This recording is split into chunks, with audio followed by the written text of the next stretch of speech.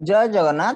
Hello future scientist welcome to my YouTube channel MSc physics prep in this video I am going to discuss about a previous year BHU MSc entrance question the question was in BHU 2019 हम हर दिन एक एक BHU का video डाल रहे हैं।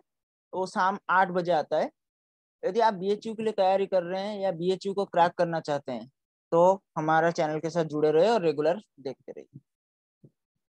तो question is in the diffraction pattern due to a single slit the width of central maximum will be. मतलब ये सिंगल स्लिट डिफ्रैक्शन के बारे में पूछा है, और बोला है कि विड्थ ऑफ़ सेंट्रल मैक्सिमम कैसा आएगा?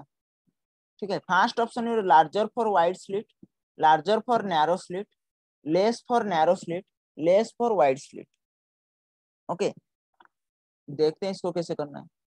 आपको ये एक बात याद रखना है। आपका जो विड्थ ऑफ़ सेंट्रल मैक्सिमम है width of central maximum.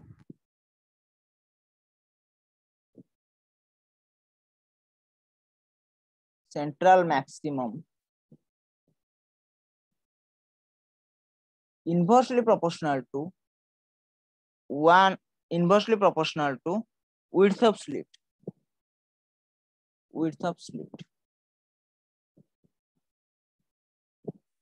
That means आपका central maximum large होगा तो ये क्या हो जाएगा? लेस हो जाएगा। ये लेस होगा तो क्या हो जाएगा? ये लार्ज हो जाएगा। ठीक है? देखते हैं।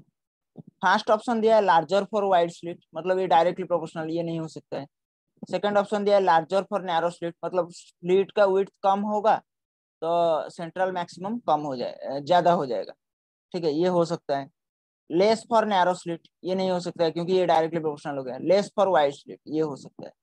तो मतलब आपका option B and option D will be correct okay कभी कभी बीएचयू में भी दोनों ऑप्शन करेक्ट होता है।